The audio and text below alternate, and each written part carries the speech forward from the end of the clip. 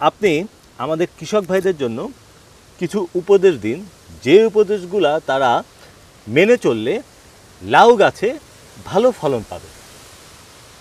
আপনি সুন্দর একটা কথা বলছেন। এই আমরা যারা হচ্ছে মাঠ পর্যায়ে যারা কৃষিকাজ করে থাকি, আসলে আমরা হচ্ছে সাম্প্রতিক সময় হচ্ছে ইউটিউবার পাগল বা ফেসবুক পেজ পাগল হ্যাঁ?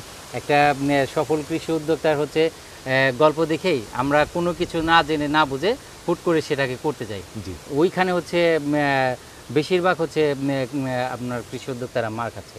আমার হচ্ছে এই লাউ চাষটার হচ্ছে প্রথম একদম আপনার বীজের প্যাকেট থেকে শুরু করে হারভেস্ট পর্যন্ত সংক্ষিপ্ত আকারে বলি প্রথম হচ্ছে ইয়ার মালিক সিডের হচ্ছে পল্লবী বীজটা সংগ্রহ করতে হবে হ্যাঁ?